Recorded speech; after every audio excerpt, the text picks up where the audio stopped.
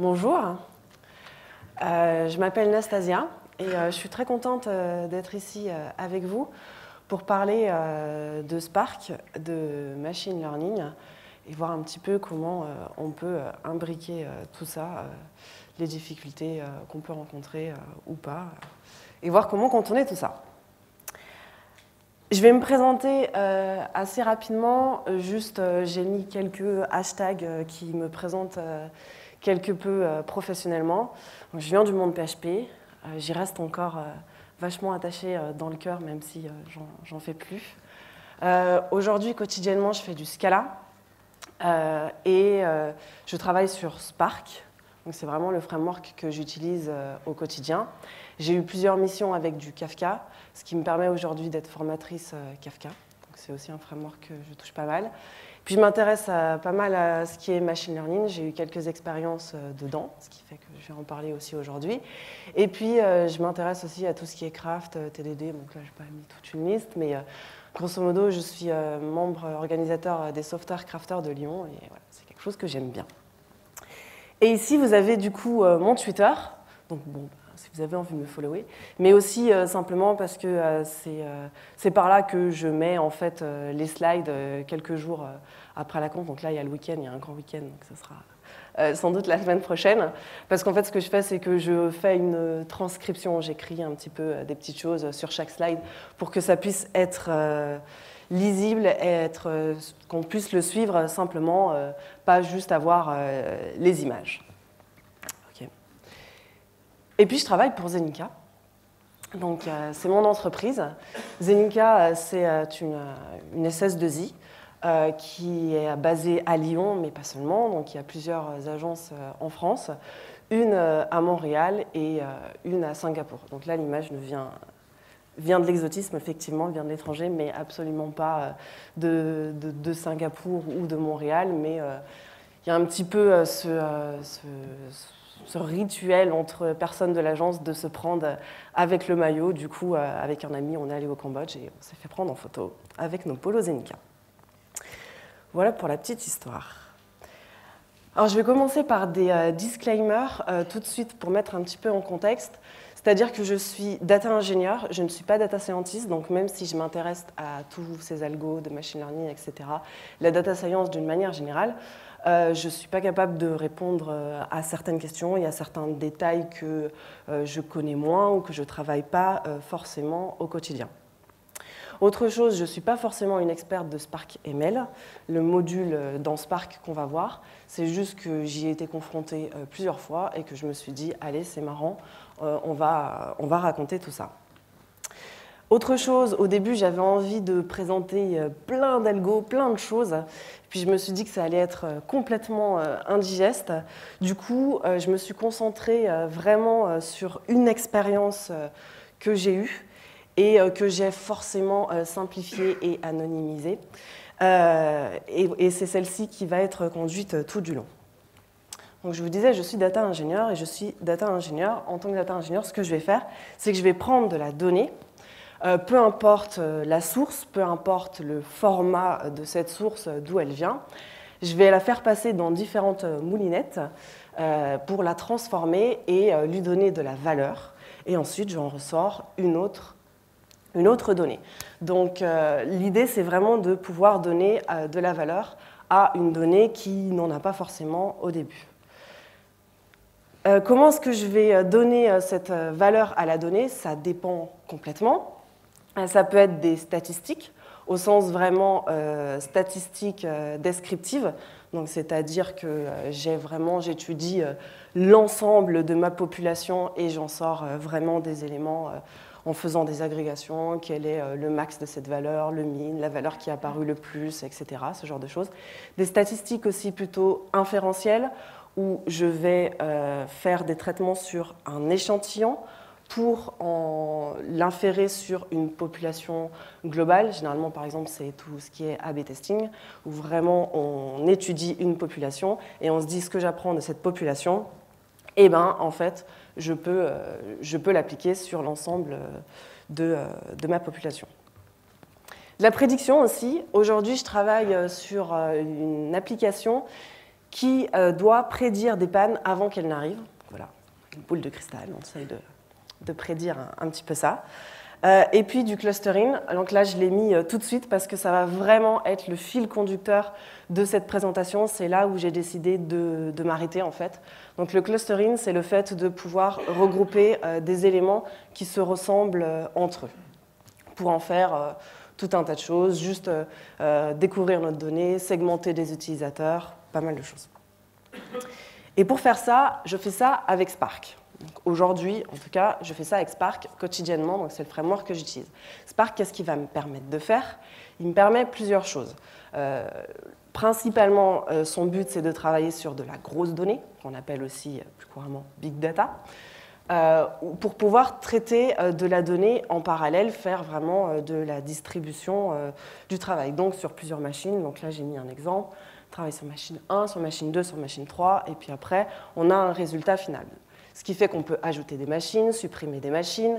Avec Spark, on est résilient au panne, quand on met en place tout un système de clustering, au sens cette fois-ci clustering de machines. Euh, que dire d'autre sur Spark? Il a la capacité de travailler en RAM, donc il, a une certaine, euh, il apporte une certaine performance, donc c'est un outil euh, voilà, qui permet un petit peu de, faire tout ça. Dans Spark, on trouve plusieurs modules. Alors, je ne les ai pas tous mis, j'ai juste mis trois exemples. Donc, il y a Spark SQL, qui est un petit peu celui sur lequel se basent un peu tous les autres, qui permet de faire de la transformation de données j'ai envie de dire, assez, classiquement de l'analyse. Euh, voilà. Enfin, on peut aller très loin, mais c'est euh, le, truc de base. On a un, module streaming, parce qu'en réalité, euh, Spark fonctionne pas mal en batch. Et ensuite, il y, a, du streaming qu'on peut utiliser pour avoir cette capacité temps réel. Et puis, le module qui nous intéresse aujourd'hui, c'est le module ML. Donc, pour faire du machine learning. Bon, alors du coup, machine learning, je donner une petite description. Il y a plusieurs définitions, euh, il y en a des tonnes. Celle qu'on utilise le plus souvent, c'est la capacité d'un ordinateur à faire quelque chose sans qu'on lui l'ait clairement défini. Euh, voilà, donc euh, ça, ce serait une définition un peu plus que vous retrouverez sur Wikipédia. Moi, je dirais que si je devais donner ma propre définition de personnes, développeurs ayant travaillé sur des algos comme celui-là, je dirais qu'on prend de la donnée, on la passe dans une moulinette, donc on la passe dans un algo et ensuite ça, nous permet d'en tirer de la connaissance qu'on peut réutiliser ou pas. Je vais rentrer dans le détail. On définit généralement plusieurs formes euh, d'apprentissage automatique, donc euh, traduction pour machine learning. Euh, celui dont on parle souvent, c'est l'apprentissage supervisé. C'est le fait d'apprendre du passé pour prévoir le futur. C'est typiquement ce qu'on essaye de faire, par exemple, quand on a une panne, enfin, quand on essaye de prédire des pannes. On sait que certains événements ont emmené des pannes. Donc, du coup, quand on apprend sur ces éléments-là, dans le futur, on se dit, bah, si j'ai encore ces événements-là, eh ben, peut-être que ça va euh, déclencher, déclencher une panne. Donc ça, c'est vraiment l'apprentissage supervisé supervisé parce qu'on connaît euh, déjà euh, les données sur lesquelles on apprend et qu'on a vraiment euh, la variable qui permet, on a vraiment une variable explicative et une variable expliquée et elles sont corrélées. Donc ça, après, on regarde si c'est réellement corrélé, etc. Il y a tout un tas de choses à faire. Et ça, ça nous permet de prédire vraiment le, futur à partir du passé ou au moins de donner une valeur euh, par exemple, on aurait des données complètes et des données incomplètes. Et ben, les données complètes vont nous permettre de, euh, prédire euh, nos, données complètes, de les compléter. Mais ce n'est pas du tout le type d'apprentissage qu'on va voir aujourd'hui. Celui que je vous propose, c'est plutôt l'apprentissage non supervisé. Dans l'apprentissage non supervisé, on n'apprend pas du passé pour prédire le futur dans le sens où on ne connaît pas le passé. On essaye juste avec nos données, un ensemble de données, de faire émerger des structures, des patterns de, euh, nos données mêmes. Euh, le plus connu, euh, c'est le clustering. Voilà, donc le clustering, par exemple, on aurait des données complètement éparses et on voudrait savoir si certaines se ressemblent et si on peut les regrouper ensemble. Par exemple, vous êtes à un mariage, vous êtes à votre propre mariage, et vous devez faire des plans de table. Bah, les plans de table, c'est un peu la galère. Alors, moi, j'en ai jamais fait, je me suis jamais mariée, mais j'ai vu des personnes euh, s'arracher euh, les cheveux ou arracher des feuilles euh, pour faire le plan de table. Bah, par exemple, ça pourrait être, je regarde chaque personne, quel est son degré d'affinité par rapport à la gourmandise, par exemple, son degré d'affinité par rapport à la politique. Et ensuite, je la passe dans une moulinette de clustering et je me rends compte qu'il y a des personnes qui se ressemblent plus que d'autres et qui, du coup, bah, peut-être que je vais pouvoir les mettre sur les mêmes tables et qu'elles vont euh, bien, pouvoir bien s'entendre. Et du coup, d'une donnée dont on ne connaît rien, on peut en tirer de la connaissance et, euh, du coup, avoir euh, des, groupes qui se dégagent. Alors ça, c'est un exemple, le plan de table, c'est un exemple pas du tout professionnel.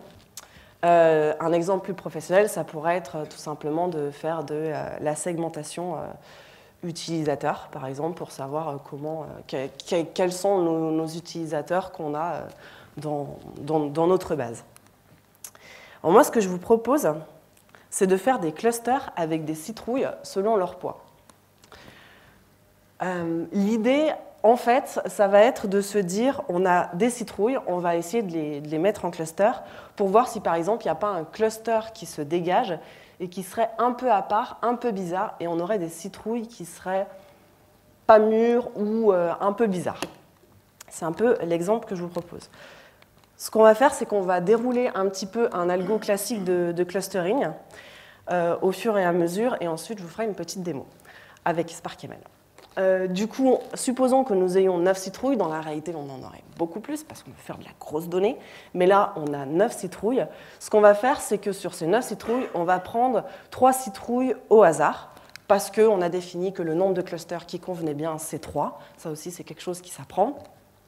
Et du coup, on va partir sur ces 3 citrouilles euh, qu'on choisit complètement au hasard et qui vont devenir le centre de nos clusters, de nos futurs clusters à construire. Donc ça nous donne ça. On a 9 citrouilles, on a défini trois centres, et ensuite, ce qu'on va faire, c'est qu'on va prendre chaque citrouille et euh, la mettre à côté du centre dont elle est le plus proche. Donc on affecte chaque citrouille au groupe dont elle est le plus proche en son centre. Ce qui nous donne ça, par exemple. Quand on a pris nos citrouilles, donc on est sur le poids. On va faire des clusterings au niveau du poids, voir euh, les, citrouilles qui ont un poids euh, qui, qui se ressemble. Donc on les met ensemble. Et ensuite, une fois qu'on a ça, ce qu'il s'agit de faire, c'est de recalculer le centre de chaque cluster.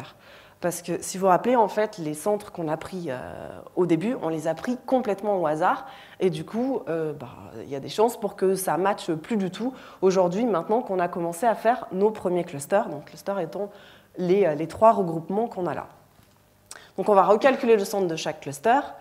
Puis on va réaffecter de nouveau chaque citrouille au centre dont elle est le plus proche. Et puis on va continuer jusqu'à ce qu'on appelle la convergence.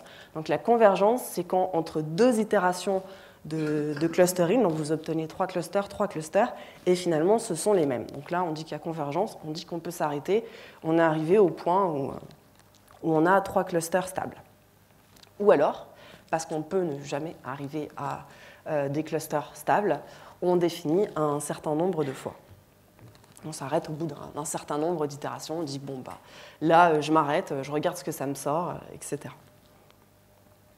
Alors voilà, donc je vous disais, ça peut servir à pas mal de choses comme découvrir euh, sa donnée, ou par exemple se demander s'il n'y a pas un cluster qui, sort un petit peu du lot et qui représenterait des citrouilles un petit peu bizarres qui finalement ne seraient pas celles qu'on voudrait. Alors, en fait, le clustering, c'est un petit peu une famille d'algorithmes. Et euh, l'algorithme qui est sans doute le plus connu pour faire du clustering, c'est K-means. Donc K-means euh, va s'appuyer pour recalculer le centre de, chaque cluster sur le, calcul de moyenne. En fait, il va prendre les poids qui sont dans tout le, cluster et il va en faire une moyenne. Et ça, c'est un algo qu'on retrouve dans Spark, qui nous donne la possibilité de faire ça. Donc là, je vais faire une euh, une présentation un petit peu de, Spark SparkML euh, plus précisément. C'est visible Ça va? Ok. Donc j'ai initié quelques petites choses. J'ai initialisé euh, un objet citrouille clustering. j'ai fait une classe main. À l'intérieur, qu'est-ce qui nous intéresse? J'ai une Spark Session. Donc ma Spark Session, session ah, pardon, c'est vraiment mon entrée dans, dans, Spark qui va me permettre de faire tout, ce que je veux. vous voyez ici qu'on est en mode local. J'ai dit que Spark fonctionnait en mode distribué. Donc en réalité, Spark a un mode distribué et il a un mode local. Le mode local, bah, c'est super pour faire euh, des tests unitaires, pour faire euh, du debug, pour faire une démo euh, comme, comme, par exemple ici, parce que ben, moi, je n'ai qu'une machine, donc j'ai besoin de, de runner sur une machine. Ensuite, je vais aller récupérer des citrouilles. Alors, peu importe comment je les récupère, dans la vraie vie, on n'y va pas en la créant soi-même, hein, bien entendu on va le chercher dans une source externe, un, système de fichiers distribués, euh, du Kafka, euh, peu importe. Là, ce que j'ai fait, c'est que je me suis servi de quelques euh, outils de Spark pour pouvoir créer ma data frame moi-même. Une data frame, c'est une liste distribuée dans Spark. C'est comme une liste en cas-là, sauf qu'elle est distribuée, qu'elle va pouvoir runner sur plusieurs, machines. Là, je fais un point chaud pour regarder un petit peu ce qu'il y a dans le contenu de ma data frame. Je vais runner ça déjà.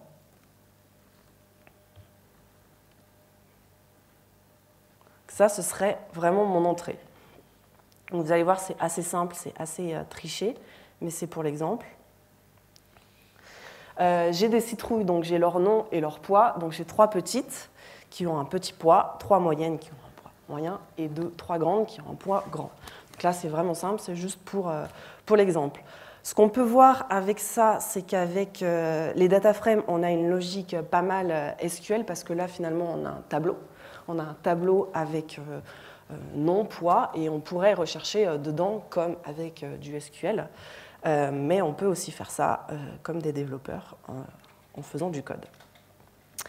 Alors, euh, dans euh, une moulinette de machine learning, il y a généralement plusieurs étapes. Donc, il y a là les entrées. Ensuite, il y a la préparation de la donnée. Préparation de la donnée, en réalité, là, on va faire quelque chose de très simple, mais dans la vraie vie, ça prend énormément de temps. Parfois, ça prend euh, une grosse partie d'un travail.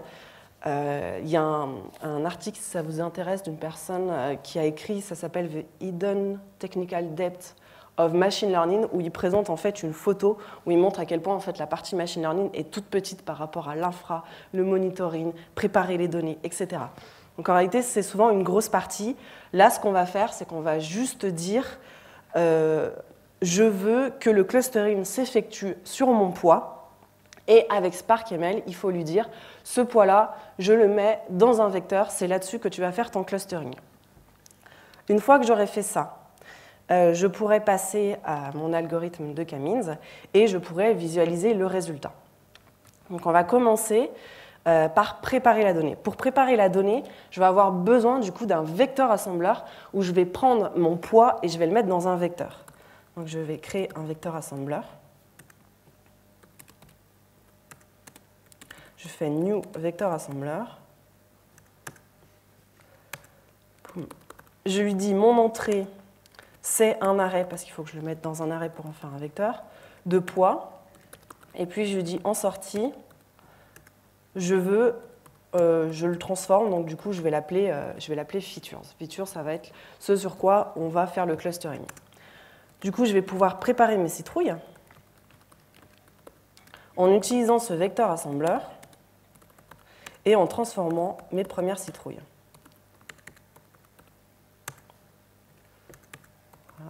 On va faire un petit show pour voir quand même ce que ça donne.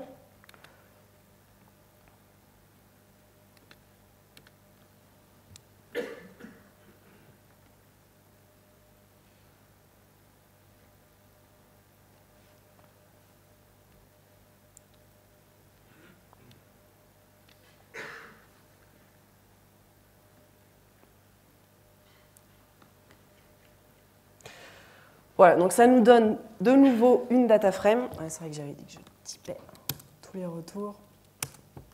Donc ça nous donne de nouveau une data frame où on a nom, point et features qui est simplement mis euh, dans un vecteur. Ok, maintenant on va, partir, sur le Kamins. Donc on va déclarer un algorithme de Kamins. Donc tous ces éléments DataFrame, Vector Assembler, Camins appartiennent à, à Spark, Vector Assembler et Camins appartenant à SparkML. Donc là, je fais un new Camins. Je vais lui dire que je veux 7 clusters, donc 7 K, parce que notre donnée nous a appris que c'était 3 clusters qui étaient intéressants. Ce que je vais lui dire, c'est euh, ce sur quoi tu vas clusterer, faire le clustering. Ça va être sur euh, le, champ euh, features. Et puis, je vais l'appliquer à, à mes citrouilles. Du coup, je vais faire un modèle en réutilisant cet algorithme de Camins que j'ai ici et je vais le faire fitter sur mes citrouilles qui sont prêtes. Donc là, ça run l'algo de, de Camins qu'on a vu en fait euh, sous-jacent, euh, voilà, où je, découpais, etc. Je choisis euh, les centres au hasard, etc. Je fais mes itérations. Donc ça, pour nous, c'est caché. Et ensuite, ce qu'on voudrait quand même, c'est pouvoir eh ben, tout simplement visualiser le résultat.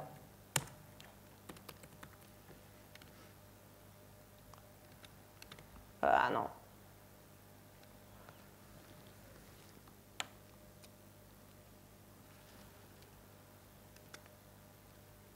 Je passe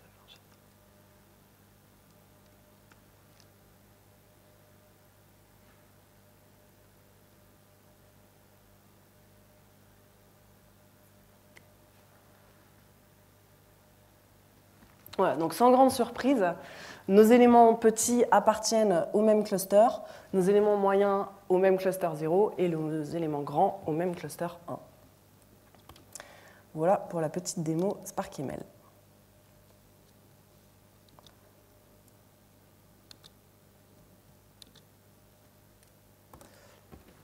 Hop. Donc si on récapitule, j'avais utilisé une caisse classe citrouille pour pouvoir euh, générer euh, euh, mes, données, générer une data frame qui ressemblait à ça. Donc on avait trois éléments petits, trois éléments moyens, trois éléments grands. On les a d'abord préparés en utilisant le vecteur assembler, en mettant les poids dans un vecteur. Puis, donc on a eu ce résultat. On a eu ce résultat, donc on a eu nos features, qui étaient vraiment nos poids dans un vecteur on a passé euh, notre moulinette de euh, Camins et euh, ça nous a donné le résultat espéré, c'est-à-dire nos éléments qui se ressemblent, qui sont petits dans le même cluster, nos éléments qui sont plutôt moyens dans un autre cluster et nos éléments grands dans un autre cluster. Alors qu'est-ce qu'on voit par rapport à cette petite démo? Déjà, il correspond toujours à un type d'algo à une expérience de machine learning. Alors ça aussi, euh, ça, prend. Euh, peut-être potentiellement, euh, ça va être tel, type d'algo pour une data et puis finalement tel autre type d'algo pour une autre data. Donc là, on a utilisé Camins, mais il en existe des, tonnes d'autres qui sont présents et dans SparkML et dans d'autres applications, d'autres frameworks de machine learning. On a vu la partie feature engineering, en fait, c'est tout ce qui est préparation des données qui en réalité tient une place euh, importante. Donc dans euh, SparkML, en réalité, vous avez euh, tous les algos classiques dont on parle tout le temps de machine learning, la régression linéaire, random forest, etc. Et puis il y a toute une partie feature engineering pour préparer cette donnée. Et puis il y a aussi une partie, non je ne parle pas du tout, mais qui est la partie évaluation, parce que ben, ce n'est pas tout de faire tourner un algo de machine learning sur des données, il faut vraiment vérifier que ça nous donne quelque chose de pertinent et qu'on ne s'est pas planté ou qu'en changeant tel ou tel paramètre, on n'arrive pas à quelque chose de mieux. Alors par rapport à ce que je vous ai présenté, moi personnellement, il y a des choses qui me chagrinent. Euh, la première chose, c'est le vecteur assembler. J'ai l'impression que ça va de mieux en mieux, mais euh, j'ai à chaque fois quand même du mal à expliquer euh, cette étape et à expliquer pourquoi on en arrive là avec SparkML alors qu'il y a certains, frameworks de machine learning qui ne passent pas forcément par une case vecteur assembler, mais qui passent autrement. Euh, ce qui me gêne aussi, euh, c'est les data frames. Donc les data frames, c'est euh, ce que j'ai utilisé tout du long. Je vous ai dit, c'est une liste distribuée. Voilà, donc c'est vrai. ce qui me gêne avec ce système-là, c'est que quand je suis là, en fait, poids, eh ben, c'est un string Donc concrètement, je pourrais mettre n'importe quoi. Bah, ça plantera à l'exécution, mais ça plantera jamais à, la compilation. J'ai quelque chose de pas du tout typé en fait, et mon erreur sera loin dans ma validation. Alors qu'en fait, euh, dans Spark, il existe les data frames, mais il existe aussi les datasets. Les datasets, c'est une data frame typée. Donc là, par exemple, j'aurais pu, au lieu de euh, data frame, construire une dataset. Et ensuite, ça veut dire que du coup, si j'essaye par un map, par exemple, d'accéder à une valeur qui n'existe pas, eh bien, classiquement, euh, j'ai mon erreur que euh, poids, j'ai pas d'erreur. Voilà. Ça, ce sont des choses qu'on n'a euh, pas forcément avec, avec cette démo. Autre chose, on a vu que euh, recalculer le centre de chaque cluster, c'était vraiment le truc de Camins en mode je fais une moyenne. Et du coup si on utilise quelque chose sur l'étagère comme là ce que j'ai fait, ça veut dire que notre centre de cluster il va être calculé selon une moyenne. Mais il y a d'autres manières de faire. Et on est en droit, du coup, de se demander, en fait, par rapport à ça, c'est quoi réellement le centre d'un groupe de données Par exemple, là, on est sur des citrouilles. Il se trouve que la plus grosse citrouille du monde qui ait jamais été vendue, en Californie, elle fait 922 kg. Pas de bol, on a tiré euh, cinq citrouilles complètement au hasard et parmi elles, on a tiré la citrouille la plus grosse du monde. Sachant que la moyenne réellement de toutes les, euh, citrouilles vendues au monde est de 5 kg. Ça sert à rien de savoir ça, mais euh, bon, c'est pour l'exemple. Du coup, si vous faites une moyenne, vous allez obtenir 188.4. moi, j'ai deux problèmes par rapport à ça c'est que, ben, effectivement, classiquement, euh, le 922 a tiré euh, vraiment euh, cette valeur vers le haut. Voilà, donc premier problème assez classique, la moyenne, si on a des valeurs aberrantes, ben, elle va être sensible aux valeurs aberrantes. Deuxième problème, c'est que ce 188.4 ne correspond à aucune de nos citrouilles. Alors il y a d'autres manières de faire. La manière la plus, simple, la plus connue après de faire, c'est vraiment de passer par une médiane, où on va euh, classer nos citrouilles de la plus petite à la plus grande. Donc cette fois-ci, la 922, elle est complètement euh, mise euh, à l'écart. Et du coup, on prend une autre valeur au milieu, qui est le 5. Donc on a quelque chose, j'ai un peu triché, mais qui correspond vraiment à la moyenne, à la moyenne mondiale et qui est beaucoup plus réaliste. Et ben c'est pareil pour le centre de nos clusters finalement on est en droit de se dire est-ce que Camine, euh, c'est vraiment l'algo qu'il me faut pour définir le centre de mon cluster à chaque fois que j'itère Parce que lui, il se base vraiment sur les moyennes. Mais il existe d'autres choses. Donc avec Camins, on aurait 188.4 qui n'est pas forcément ce qui nous intéresse. Il existe euh, donc euh, des algos qui vont s'appuyer sur la médiane, mais il existe aussi Camedoids qui va s'appuyer sur une autre forme de centre de cluster. Comment ça va marcher? En fait, ce qui va se passer, c'est qu'on va prendre chaque citrouille, et par exemple la première citrouille, la citrouille 5, et on va mesurer la distance qu'elle a par rapport à toutes les autres citrouilles.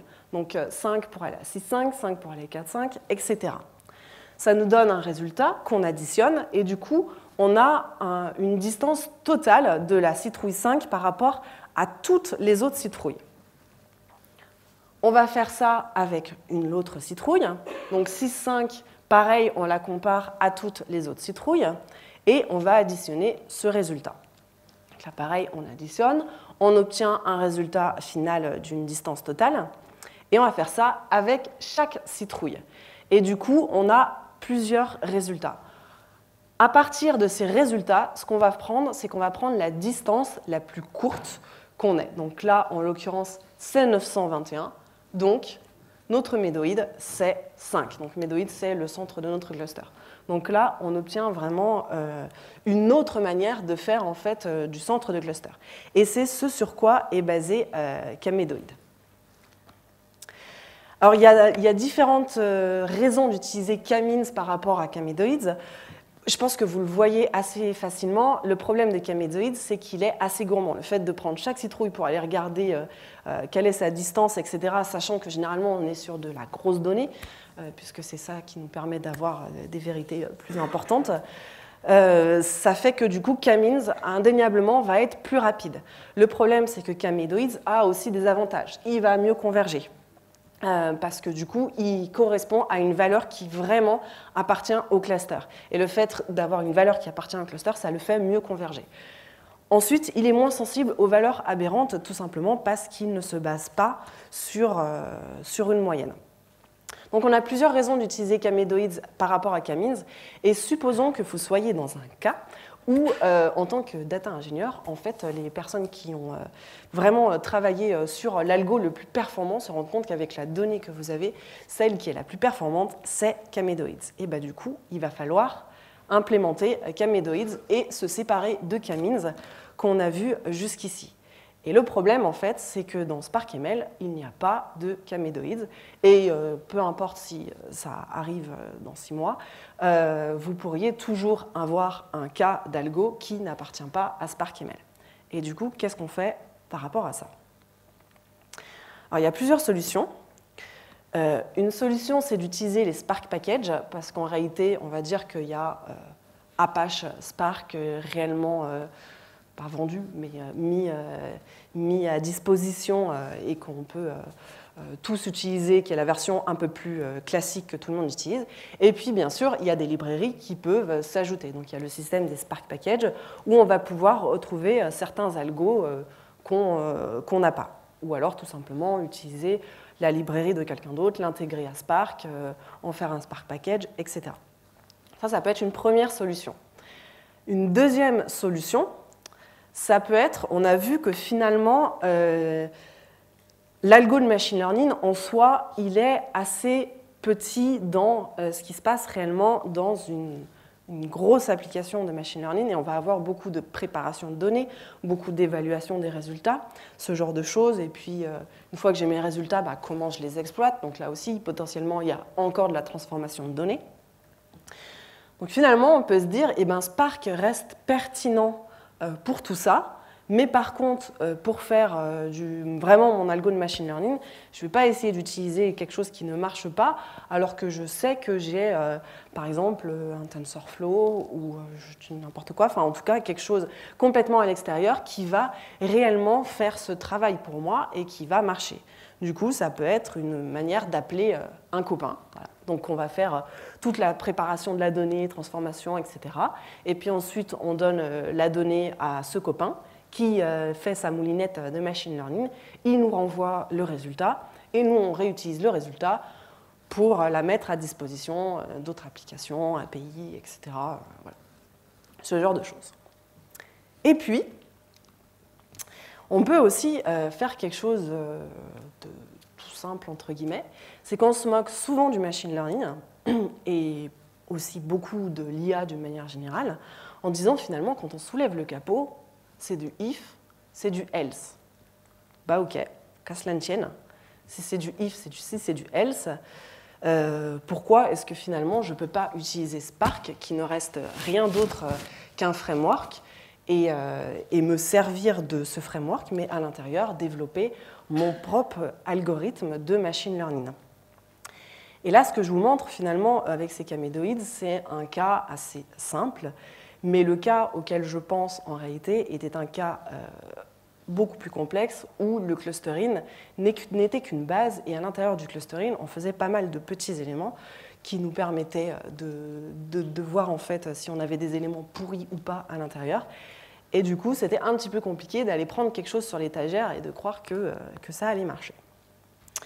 Donc c'est ce que je vous propose de faire. Je vous propose de faire, alors cette fois-ci pas vraiment une démo, mais juste euh, dérouler quelques slides avec du code pour voir comment est-ce qu'on peut faire ça avec Spark. J'irai pas dans tout. Je vais juste commencer euh, le début, y aller pas à pas, et voilà, juste commencer une ébauche de ce qu'on pourrait faire avec ça. Donc on va reprendre. On a nos neuf citrouilles. Donc je reprends juste l'algorithme rapidement. On a neuf citrouilles. De ces neuf citrouilles, on, en a choisi trois complètement au hasard qui sont devenus les centres de nos clusters. Ça nous a donné ça. une fois qu'on a eu ça, on a pris chaque citrouille et on regarde, on la place là où elle est le plus proche en son centre. On recalcule le centre de chaque cluster. Là, dans notre cas de camédoïde, ce serait là où vraiment bah, il y aurait une différence, puisqu'on calculerait un médoïde et non plus une moyenne, jusqu'à convergence ou un certain nombre de fois. OK. Donc là, on va reprendre plutôt avec du code. On a nos 9 citrouilles. Voilà, 9 citrouilles qu'on va mettre dans une data frame ou, puisqu'on est libre, dans une dataset. Donc on va pouvoir euh, faire absolument euh, ce qu'on veut aujourd'hui.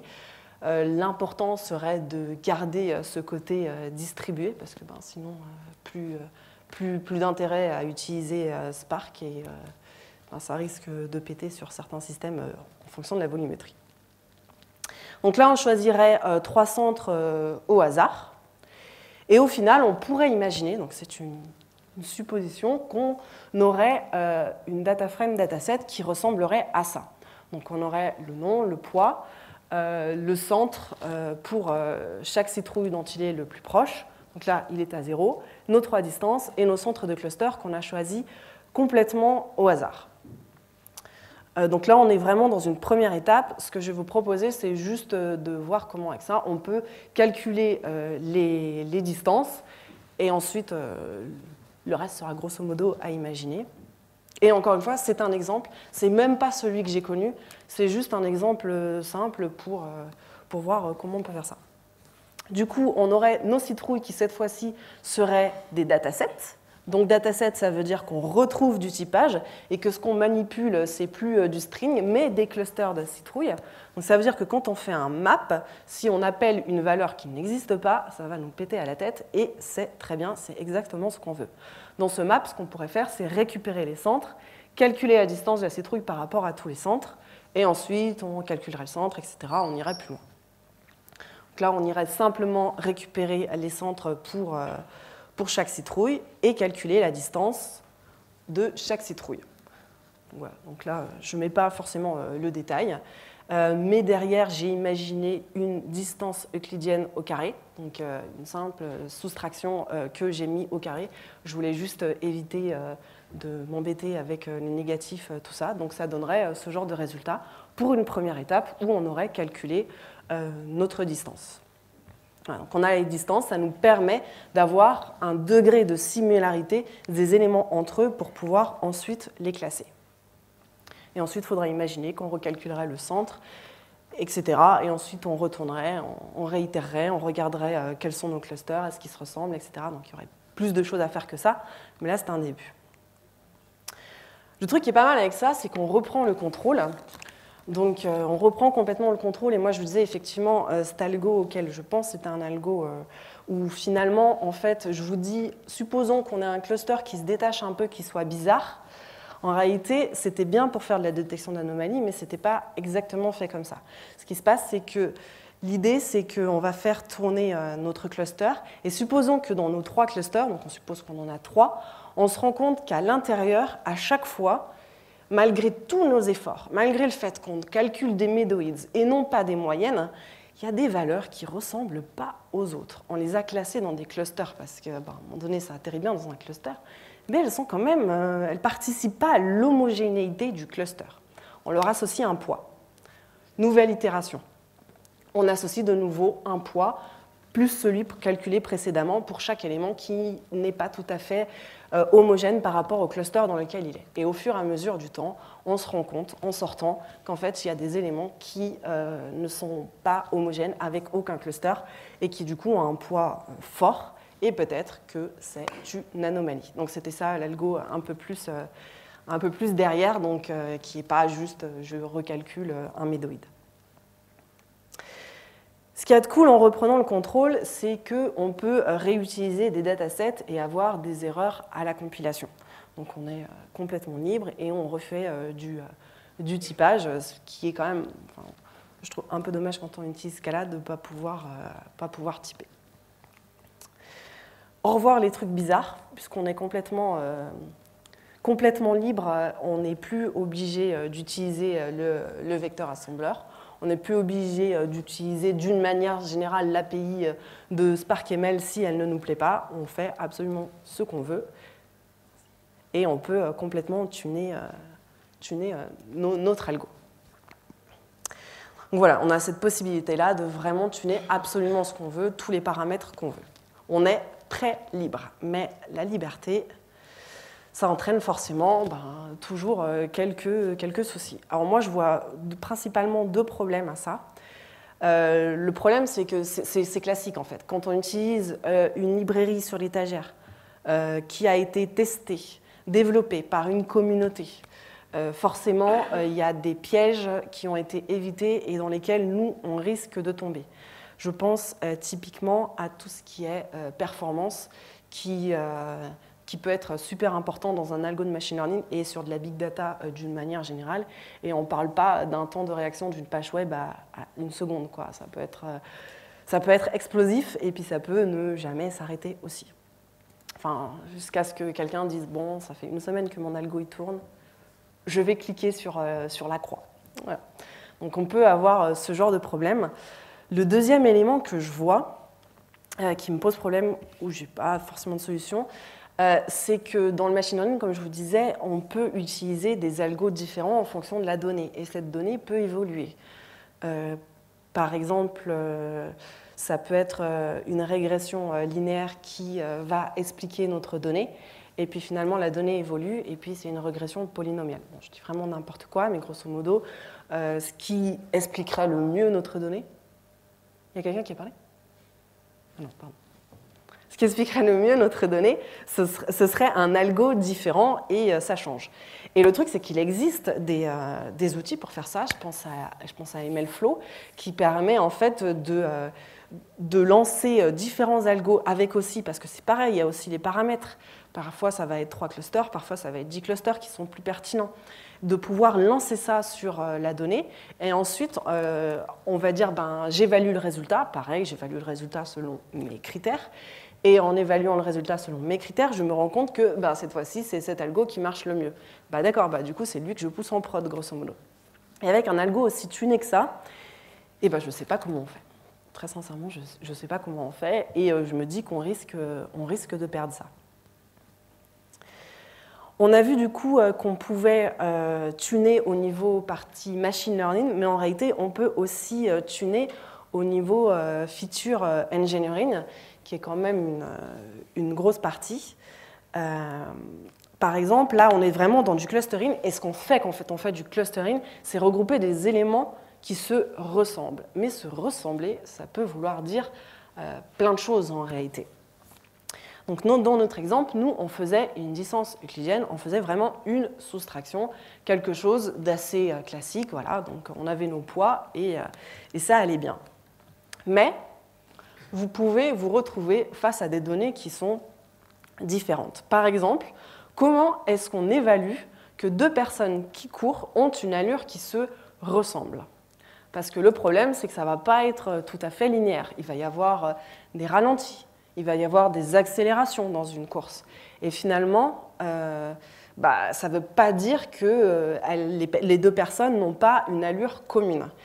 Du coup, la distance que nous, on faisait, le calcul de distance qu'on faisait de manière euclidienne assez simple, ça pourrait être un, calcul beaucoup plus compliqué et il pourrait ne pas être dans SparkML. Par exemple, ça pourrait être du dynamic time warping. Donc, dynamic time warping, ce serait Typiquement, là, ce qu'on a vu pour euh, calculer euh, deux personnes, euh, deux personnes qui courent, en fait, donc c'est l'idée de pouvoir se baser sur des, accélérations, des ralentis, et pouvoir, en fait, pouvoir calculer en fait des, des, séries temporelles en fait, pouvoir avoir quand même la possibilité de se dire ça se ressemble ou ça se ressemble pas et dans quelle mesure.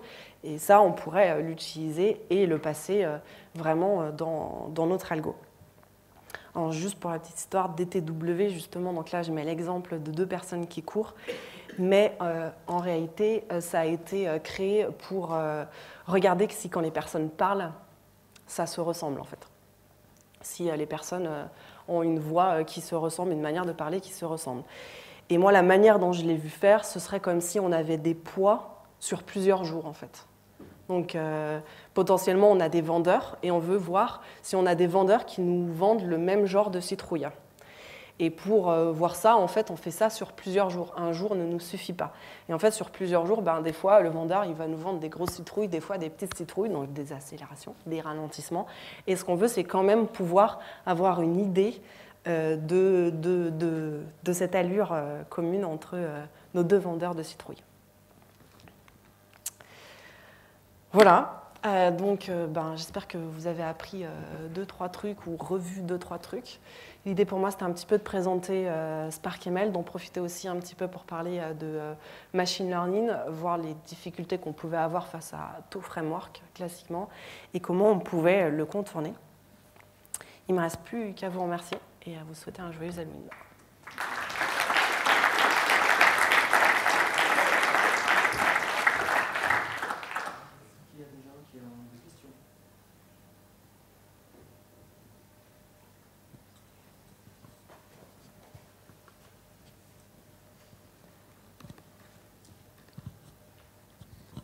Merci pour cette belle présentation. Tu t'es défini en tant que data engineer qui s'intéresse au machine learning et pas data scientist. Mm. Quel est le gap qui manque là par rapport à ce que j'ai vu? Je ne le vois pas. En faire quotidiennement et puis penser l'évaluation des résultats? Parce qu'aujourd'hui, euh, tous les cas que j'ai eus, euh, c'était euh, un data scientist qui pense l'algo et qui me dit hey, en fait, ça ne marche pas sur plus de 10 données. Donc, mettre à l'échelle. Voilà. Merci. Salut, merci pour la presse. Euh, moi, ma question, c'était, euh, ça concerne plutôt le métier de data engineering, du coup, euh, sur la perf. je voulais savoir si tu as pu tester justement Spark ML dans un cadre d'entraînement et le comparer à, à de l'entraînement simple sur, euh, sur un notebook, euh, sur du Pandas, enfin voilà, sans, sans, sans, le mode distribué quoi. Sans mode distribué Oui voilà. Genre, attends, genre tu veux dire. Tu mets dans la. En fait, tu t'exécutes ton entraînement sur, sur la RAM. Ouais. Tout est stocké en RAM. Quoi. Parce que souvent, l'entraînement, c'est sur des, sur des. pas des grosses volumétries de données, puisqu'on fait. la partie cross-training, le principe, c'est de ne pas faire ça.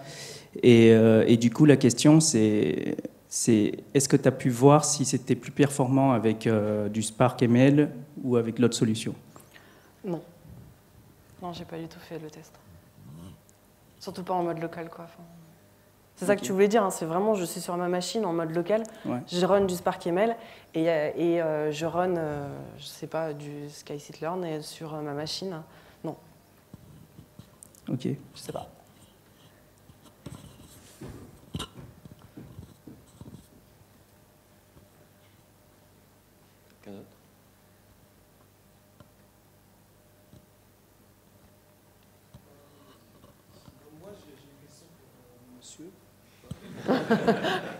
Bah, bah, pour moi, je n'arrive pas à comprendre euh, pourquoi il, faut, il faut tester le machine learning en local. Euh. C'est pour avoir une idée des perfs de, Spark d'une manière générale, c'est ça, si je comprends bien? Ça pourrait être un débat en dehors. je vous propose. Hein. Si vous n'avez pas d'autres questions. Euh. Si ah. Est-ce que vous avez des cas comme par exemple data scientist in les modèles deep learning ou quelque chose qui n'existe pas dans Spark machine learning? Dans ce cas, qu'est-ce que vous faites? Ben C'est exactement ça en fait. Là, c'était vraiment un cas qui n'existait pas dans Spark ML en fait. Donc avec euh, du camédoïde, enfin de la logique camédoïde avec euh, de la DTW, avec plein d'autres trucs. Donc ça, par exemple, ben, euh, c'était à la main.